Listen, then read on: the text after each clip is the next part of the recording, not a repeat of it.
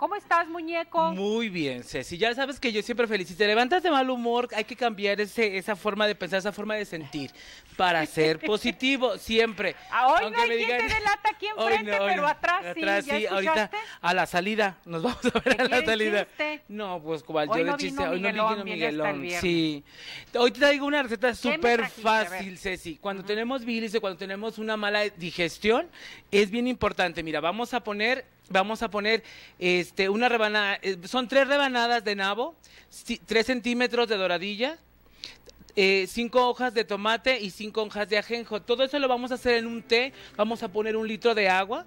Y una vez hervido, le vamos a agregar el jugo de un limón y eso se tiene que tomar en ayunas.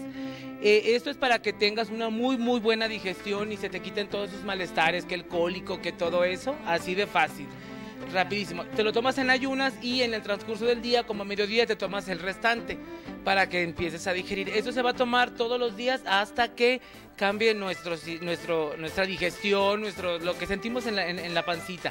Sí, mira, déjate repito otra vez los ingredientes. Son tres rebanadas de nabo. Nabo. Tres centímetros de doradilla.